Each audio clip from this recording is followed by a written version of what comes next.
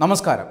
കഴിഞ്ഞ ദിവസം കേരളത്തിന്റെ പോലീസ് ആസ്ഥാനത്ത് നിന്ന് തിരുവനന്തപുരത്തുള്ള പോലീസ് ഹെഡ് ക്വാർട്ടേഴ്സിൽ നിന്ന് ഡി ജി പിയുടെ ഒരു സർക്കുലർ എല്ലാ പോലീസുകാർക്കുമായി വിതരണം ചെയ്തിട്ടുണ്ട്.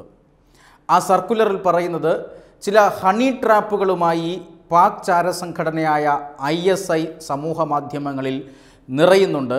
പാക് ചാര സുന്ദരികൾ ചില സമൂഹ ഫേസ്ബുക്ക് അടക്കമുള്ള ഇൻസ്റ്റാഗ്രാം അടക്കമുള്ള സമൂഹ മാധ്യമങ്ങളിൽ അക്കൗണ്ടുകൾ തുറന്നിട്ടുണ്ട്. അവർ കേരള പോലീസിലെ ഉദ്യോഗസ്ഥരെ നോട്ടമിടുന്നുണ്ട്. ഹണി ട്രാപ്പിൽ പെടരുത്. അത്തരം സാഹചര്യങ്ങളിൽ അങ്ങനെ ഏതെങ്കിലും സാഹചര്യം ഉണ്ടായാൽ ഉടൻ പോലീസ് ആസ്ഥാനത്ത് വിവരമറിയിക്കണം. പ്രത്യേകിച്ചും എല്ലാ പോലീസ് ഉദ്യോഗസ്ഥരും പ്രത്യേകിച്ചും അന്വേഷണ ചുമതലയുള്ള കേസുകളുടെ അന്വേഷണ ചുമതലയുള്ള പോലീസ് ഉദ്യോഗസ്ഥർ സമൂഹ മാധ്യമങ്ങളിൽ അപരിചിതരായ സ്ത്രീകളുമായി ഇടപഴകുമ്പോൾ ശ്രദ്ധിക്കണം എന്നെല്ലാമുള്ള നിർദ്ദേശങ്ങളാണ് ഈ സർക്കുലറിൽ ഉള്ളത്.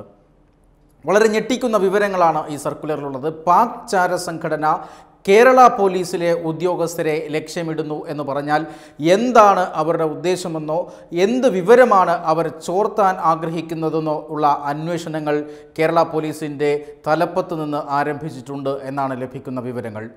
പ്രത്യേകിച്ചും കേരള പോലീസ് കേരളത്തിൽ നിന്നുള്ള ചില തീവ്രവാദ ബന്ധമുള്ള കേസുകളുടെ വിവരങ്ങൾ ശേഖരിച്ചിട്ടുണ്ട്. കേരളത്തിലെ രാഷ്ട്രീയ കൊലപാതകങ്ങൾ എസ് ഡി പി ഐയും അതുപോലെ തന്നെ പോപ്പുലർ ഫ്രണ്ട് ഓഫ് ഇന്ത്യയുടെയും നേതൃത്വത്തിൽ നടന്നിട്ടുള്ള രാഷ്ട്രീയ കൊലപാതകങ്ങളെ സംബന്ധിക്കുന്ന വിവരങ്ങളുണ്ട്.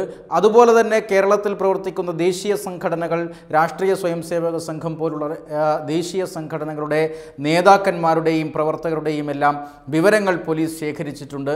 ആ വിവരങ്ങൾ പോലീസിൽ നിന്നും ചോർത്തിയെടുക്കാൻ ഒരു എസ് ഡി പി ഐ ഭീകരർ ശ്രമിച്ചതും അതുപോലെ തന്നെ അങ്ങനെ ആ ശ്രമത്തിന്റെ ഭാഗമായി അവർ അറസ്റ്റിലായതുമെല്ലാം പോലീസിനുള്ളിൽ തന്നെ ഇത്തരം വിവരം ചോർത്തൽ നടക്കുന്നു എന്നതിന്റെ സൂചനകളെല്ലാം ഇതിനോടകം തന്നെ നമുക്ക് ലഭിച്ചു കഴിഞ്ഞു. പക്ഷേ ഇതിന്റെ എല്ലാം പിന്നിൽ പാക് ചാര സംഘടനയായ ഐ എസ് ഐ ആണ് എന്നതിന്റെ വ്യക്തമായ വിവരങ്ങളാണ് അല്ലെങ്കിൽ വ്യക്തമായ തെളിവുകളാണ് ഈ സമയത്ത് ലഭിച്ചുകൊണ്ടിരിക്കുന്നത്. കേന്ദ്ര ഇന്റലിജൻസ് ഏജൻസികളുടെ ഇൻപുട്ട് ഇക്കാര്യത്തിൽ കേരള പോലീസിനുണ്ട്. അതിന്റെ അടിസ്ഥാനത്തിലാണ് ഡി ജി പി പോലീസുകാർക്ക് ഹണി ട്രാപ്പിൽ പെടരുത് എന്ന സർക്കുലർ നൽകിയിരിക്കുന്നത്. ഏതൊക്കെ കേസുകളിലാകാം പാകിസ്ഥാന്റെ ചാരസംഘടനയായ ഐ എസ് ഐ സ്വന്തം ചാരസുന്ദരികളെ ഇറക്കിക്കൊണ്ട് കേരള പോലീസിലെ ഉദ്യോഗസ്ഥരെ ഹണി ട്രാപ്പിൽ പെടുത്താൻ ശ്രമിക്കുന്നത് എന്നത് സംബന്ധിക്കുന്ന വിശദമായ വിവരങ്ങൾ പോലീസ് ശേഖരിച്ചു വരികയാണ്. കേരളം അന്താരാഷ്ട്ര തീവ്രവാദ സംഘടനകളുടെ ഒരു റിക്രൂട്ടിംഗ് കേന്ദ്രമായി പ്രവർത്തിക്കുന്നു എന്നതിന് നിരവധി തെളിവുകൾ വർഷങ്ങൾക്ക് മുന്നേ തന്നെ നമുക്ക് ലഭിച്ചിട്ടുണ്ട്. അന്താരാഷ്ട്ര ഭീകര സംഘടനയായ I S I I S ഐയിലേക്ക് ഏറ്റവും അധികം ആളുകൾ ഇന്ത്യയിൽ നിന്ന് പോയതിൽ ഏറ്റവും അധികം ആളുകൾ മലയാളികളാണ് കേരളത്തിൽ നിന്നാണ്.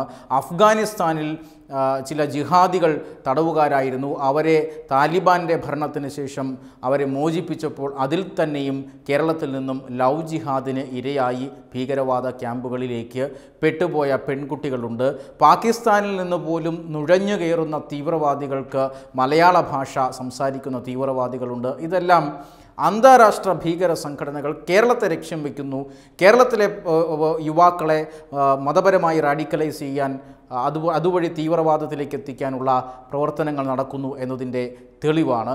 ഇത്തരത്തിൽ വലിയ തീവ്രവാദ പ്രവർത്തനങ്ങൾ തീവ്രവാദികളുടെ വളക്കൂറുള്ള മണ്ണായി കേരളം മാറുമ്പോഴും പാകിസ്ഥാന്റെ രഹസ്യാന്വേഷണ ഏജൻസി ഇത് മുതലെടുക്കാൻ ശ്രമിക്കുന്നു എന്നുള്ളത് വളരെ പ്രധാനപ്പെട്ട ഒരു കാര്യമാണ്. അതുകൊണ്ട് തന്നെ ഡി ജി പി എല്ലാ പോലീസുകാർക്കും നിർദ്ദേശം നൽകിയിട്ടുണ്ട് ഹണി ട്രാപ്പിൽ പെടരുത്. കാരണം പോലീസുകാർ ചെന്നുപെടുന്ന അല്ലെങ്കിൽ വലയിലാകുന്ന ഹണി ട്രാപ്പ് കേസുകൾ ദിവസേന എന്നോണം കേരളത്തിൽ വാർത്തയായിരുന്ന ഒരു കാലഘട്ടമുണ്ടായിരുന്നു.